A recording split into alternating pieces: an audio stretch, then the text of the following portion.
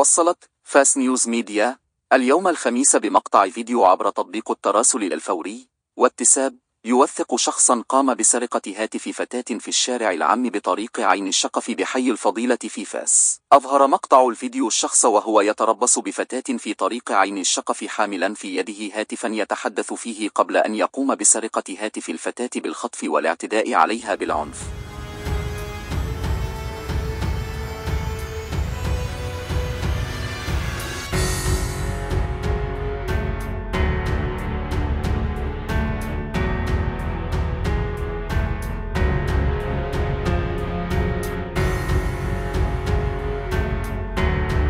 ومن المتوقع أن تقوم المصالح الأمنية بولاية أمن فاس بفتح تحقيق أمني للكشف عن ظروف وملابسات هذه الواقعة وتحديد هوية الشخص المشتبه به. وسبق لفاس نيوز أن دقت ناقوس الخطر حول تردي الوضع الأمني والخدمات الجماعية بطريق عين الشقف في فاس.